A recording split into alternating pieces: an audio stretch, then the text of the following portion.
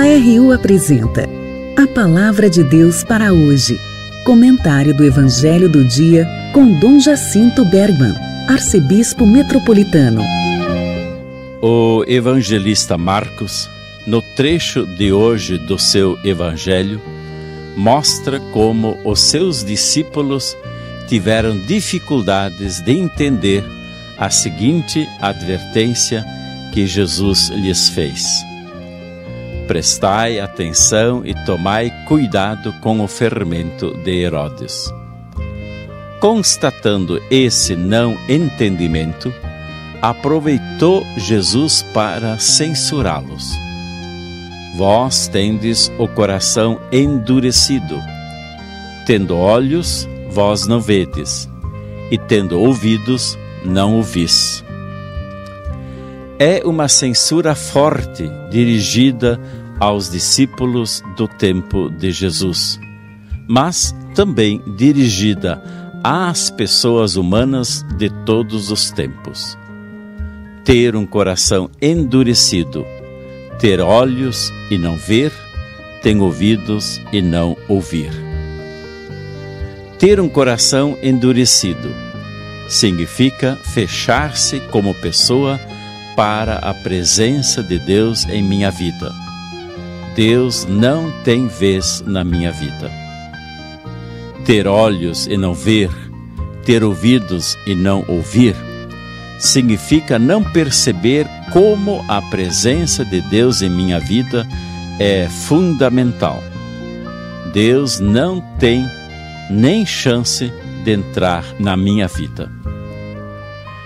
Não quero Deus na minha vida e não percebo que Sua presença é fundamental. Maldita postura essa de endurecer o coração e de fechar os olhos e os ouvidos. Ela me leva à infelicidade.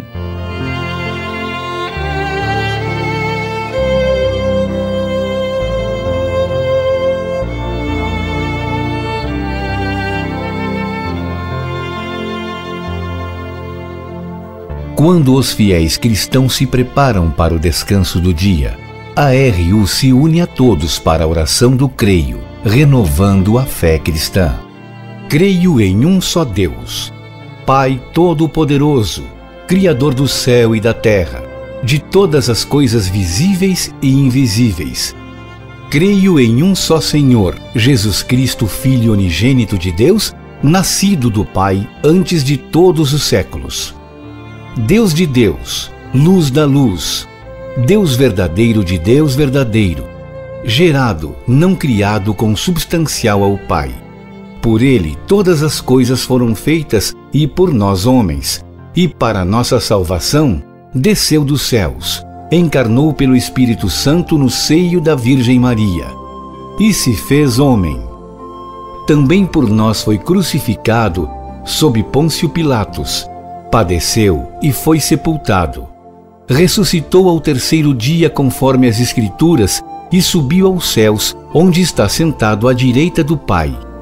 E de novo há de vir em sua glória, para julgar os vivos e os mortos, e o seu reino não terá fim. Creio no Espírito Santo, Senhor que dá a vida e procede do Pai e do Filho. Igual Pai e Filho é adorado e glorificado ele é que falou pelos profetas. Creio na Igreja Una Santa Católica e Apostólica.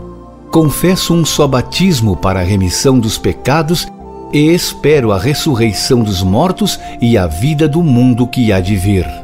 Amém.